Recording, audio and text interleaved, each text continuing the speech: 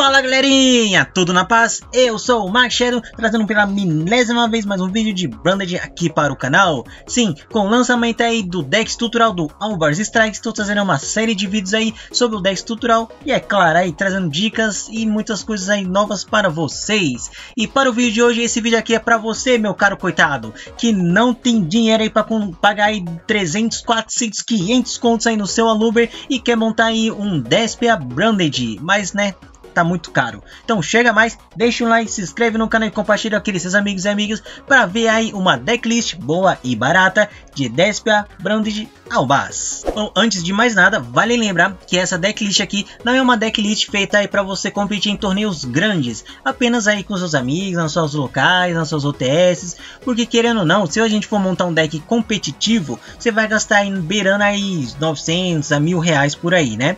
E essa decklist, é, a gente utilizou muitas cartas do deck estrutural, por que não? Porque sai muito mais barato a gente comprar vários decks estrutural e pegar algumas cartas de fora do que a gente fazer todos o, o deck com cartas de fora. E pelas minhas contas, esse deck aqui custou mais ou menos uns 400 reais, contando em todos os tutoriais e as cartas de fora. Sim, eu sei, o deck ainda continua caro, mas as cartas aqui no... O, os decks, né, as cartas no Brasil aqui é bastante caro, então, mesmo assim. Mas vamos falar aqui das deck, da decklist e primeiramente das cartas que vem no deck estrutural.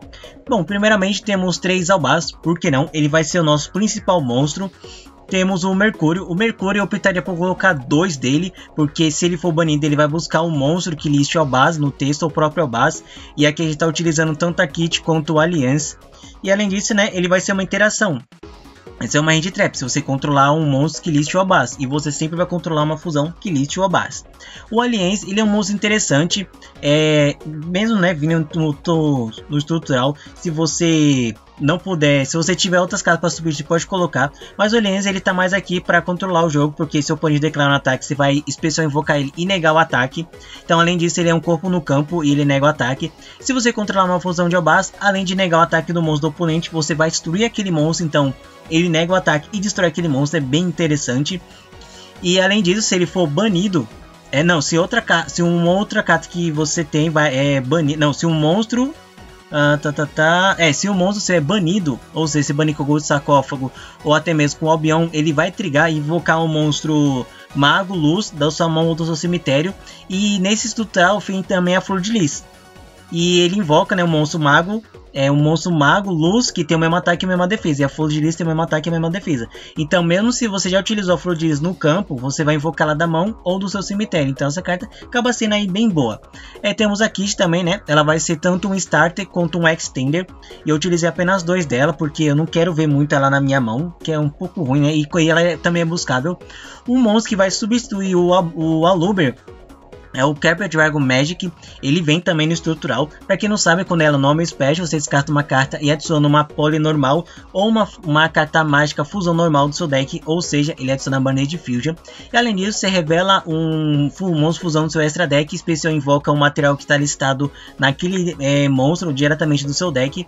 Então, é, você pode invocar o Abbas é, ainda trigando o efeito dele, né? Ou ele loca? Ah, não, ele loca só em fusão. Beleza, mas mesmo assim, você traz aí o... Ah, listado Face Down. Nossa, Face Down? Não sabia que trazia Face Down. Mas mesmo assim, mesmo trazendo o, o Albar, você ainda consegue utilizar o Super Poly. Beleza? Beleza. E ainda estamos utilizando aqui os Kaiju, né? E como vocês perceberam, essa decklist aqui tá muito em Second.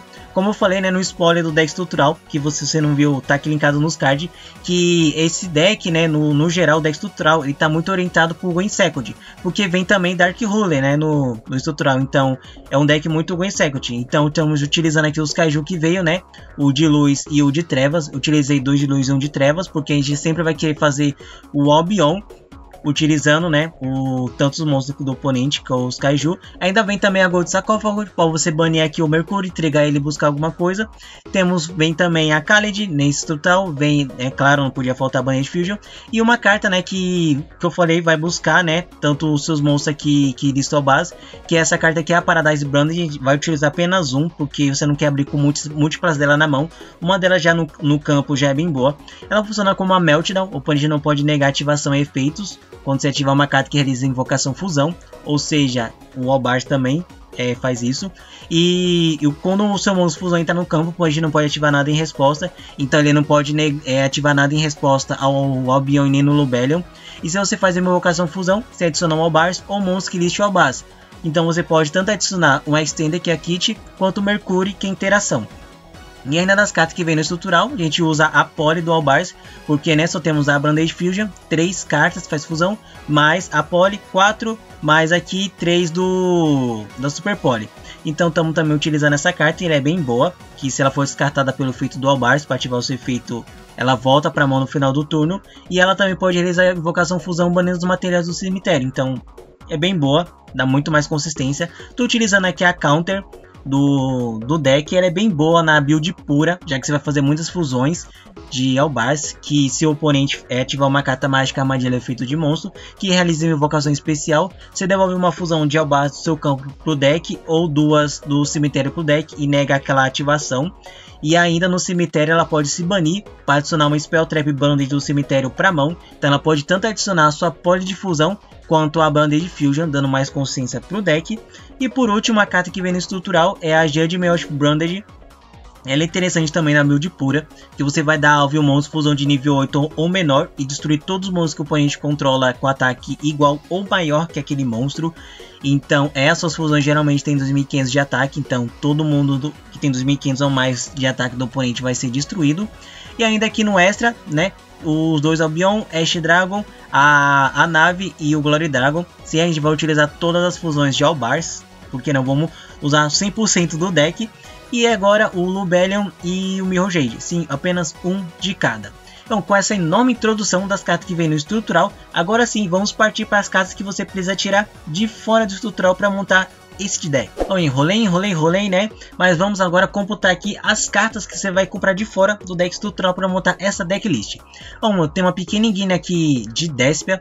Utilizei apenas dois Trajet, porque você não quer ver muito dele. E mesmo se você tiver muitos Trajet, e ele não vai ser muito... Não vai ter muito o que buscar, porque a gente não está utilizando o Aluber, porque o Aluber, né? Bem carinho.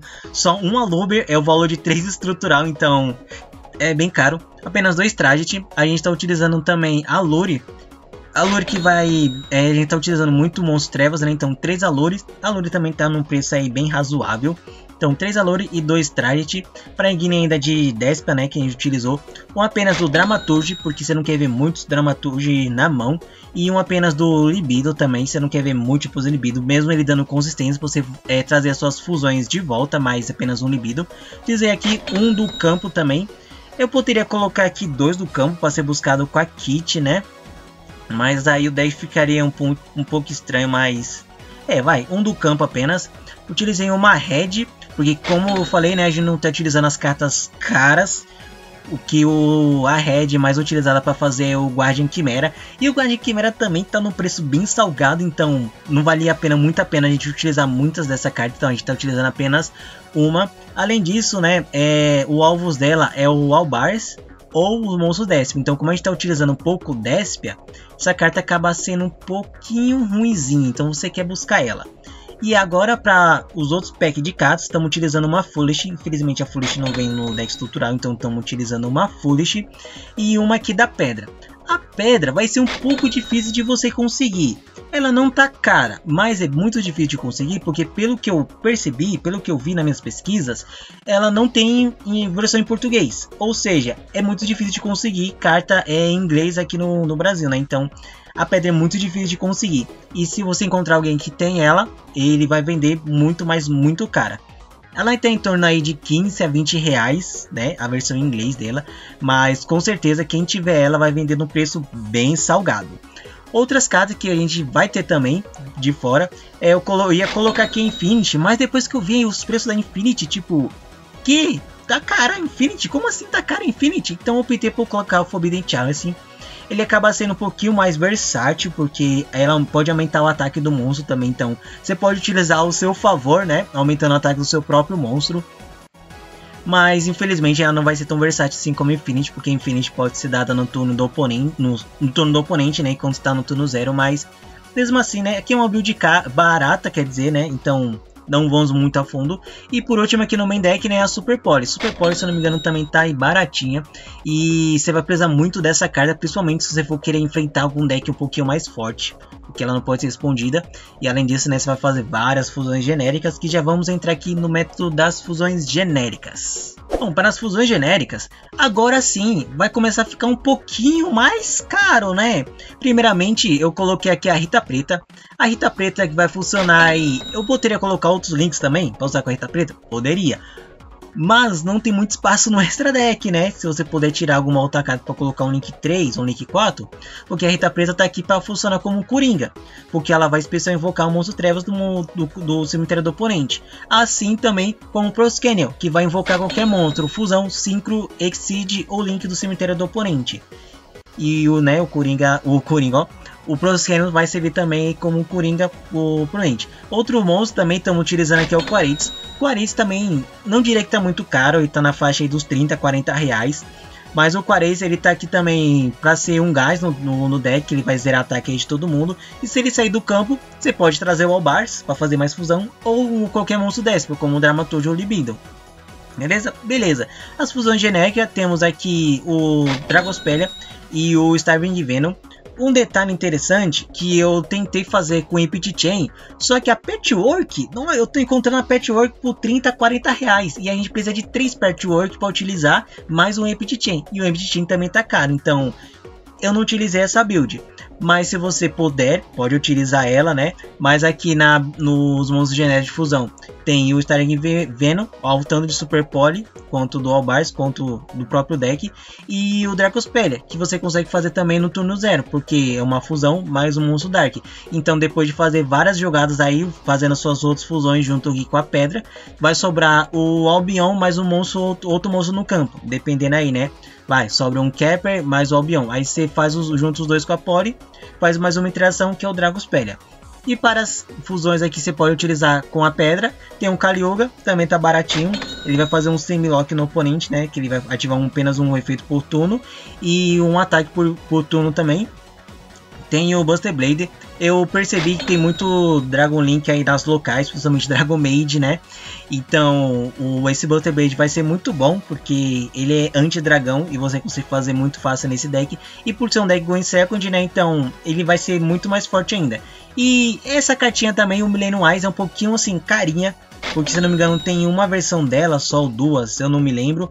E, mas ele é, é, é ela ou, é, ou era ela ou era o Dragon, né? E o Dragon tá bem mais caro também. Então eu decidi colocar ela. Ela vai ser um negate todo turno. E todos os monstros equipados dela o, com aquele nome vai ser negado. Então bem interessante. Outras cartas que você pode utilizar aqui no main deck. Que vem também no deck estrutural. É o como aqui dos Dragãozinho Bebê com o Levani. Junto com o Brotai e o Safety. Sim, essas cartas vêm no estrutural. Além de Trap, temos a, a Ogre e a Effective você também pode tirar algumas cartinhas aqui, umas spells, sei lá, e colocar essas duas hand trap. Vai muito aí de gosto pessoal. Coloquei o Cypher aqui, né, a, a foice, se você quiser também pode introduzir ela. Dark Holy para ser aí segundo, se você tiver numa local aí tem muitos decks fortes de The Gate. O campo aqui que faz fusão, Fusel Gate, eu coloquei ela também, mas você pode tirar o que o campo do 10, se você preferir, né, porque essa carta vem no estrutural, ela vai fazer várias fusões. O único problema é que você não vai ter muito recover, né? Porque você vai banir os seus monstros. E nesse deck não tem muita carta que volta. Além aqui do Lubelio, né? Que vai retornar seus materiais. A Dimension Barrier você pode utilizar também, mas ela é meio ruim porque vai negar os seus bichos de fusão também. Então, ou você joga ou você não joga. E tem essa trap também, que ela vai matar o oponente, porque ela vai fazer um token pelo número de Branders que você baniu. Vai fazer um token com 2.500 pontos de ataque para cada Brand que você baniu. E ainda ela pode se banir e buscar um Albars ou um lixe Albars que está banido para sua mão. Então ela também serve como um recover. Mas, né, vai de gosto pessoal colocar essas cartas aqui. E bom, é isso galerinha. Esse aqui foi a decklist. Eu não mostrei algum replay aí, né, mas aqui está o core da decklist. Se gostou aí, pode adquirir ela. Tem muitas cartas boas que vem no estrutural. E também não vai ser tão caro você montar esse deck. Você pode aí trocar outras cartas, né? Se você preferir, se achar mais barato, pode colocar. Mas essa aqui foi a decklist ideal que eu achei. Provavelmente eu vou montar ela também, né? Mas é isso, galera. Se vocês curtiram, deixem um like aí para ajudar na divulgação do canal. Estamos chegando a mil inscritos, se não chegamos ainda, né? Já que estou fazendo aí vários e vários vídeos, fazendo uma série de vídeos aqui do Dex Tutorial da base. Deixa um like, se inscreve no canal, compartilha com seus amigos e amigas para não perder nenhum conteúdo de Yu-Gi-Oh! e de Despia no geral. Sim, mas é isso, galerinha. Eu sou o Mike Shadow e nos vemos na próxima.